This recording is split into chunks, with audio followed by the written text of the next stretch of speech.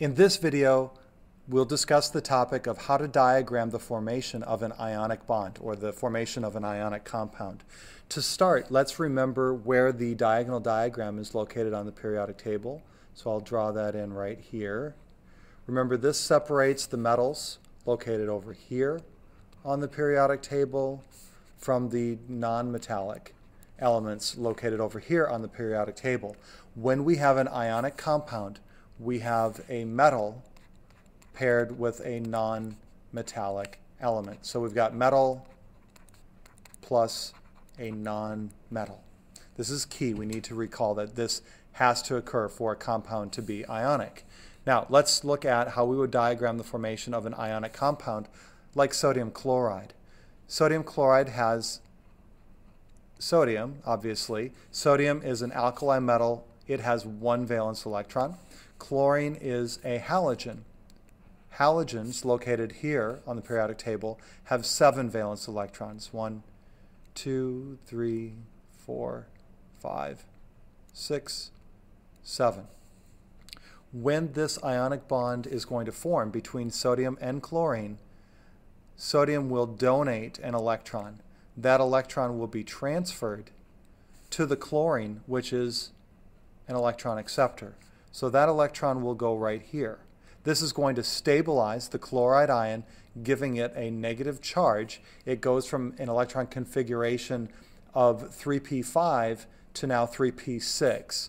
Sodium loses its one valence electron in the 3s sublevel, dropping down to having an electron configuration which will match the electron configuration of neon.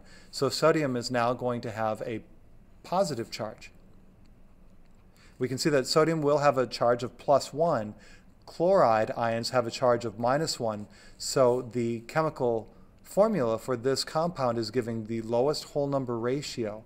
So that is a one-to-one -one ratio showing us the formation of sodium chloride. Let's look at one more example. For this one, I've selected the example of aluminum sulfide. So let's just make a divide here. Aluminum is an element that has three valence electrons. We can see it's located right here on the periodic table. So I'll draw those in here, here, and here. Sulfur is an atom which has six valence electrons. It's in the same family as oxygen. So we've got one, two, three, four, five, six. Now, when electron transfer is going to take place, we can see that aluminum has three valence electrons it would like to donate. But here's the problem. There are only two spots where sulfur can accept those electrons. Here and right here. So again, this other electron went over here. This will cause this sulfur to form a negative 2 charge anion but the aluminum still has one additional electron it would like to get rid of. So where's that going to go? That can be donated to another atom of sulfur.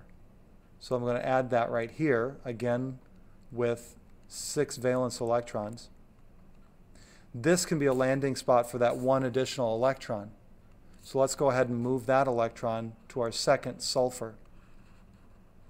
So that's going to go right over here and I'll keep going with my color coding scheme.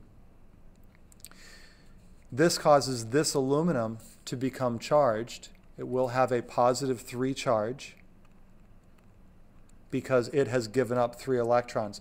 Here's the problem. This sulfur atom has one more place where it can accept an electron. It's not stable yet.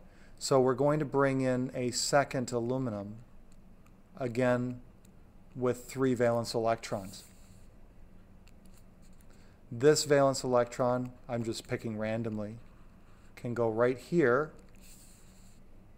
to stabilize that second sulfur. Again, this is now going to have a charge of minus 2.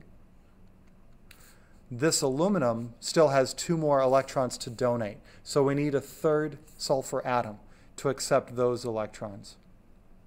One, two, three, four, five, six.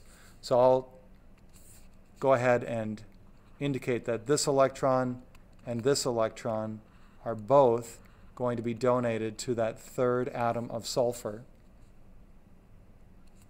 So we're going to put those right here and right here. This sulfur will now form the third minus 2 ion. The aluminum here has a charge of positive 3. So we can see from our two aluminums, there'll be a total charge of positive 6. Positive 3 from this aluminum, positive 3 from this aluminum. The total negative charge from the sulfide ions will be minus 2, minus 4, minus 6. So these will add up to give us an electrically neutral compound. There will be no overall charge. The formula for this compound will be Al2S3.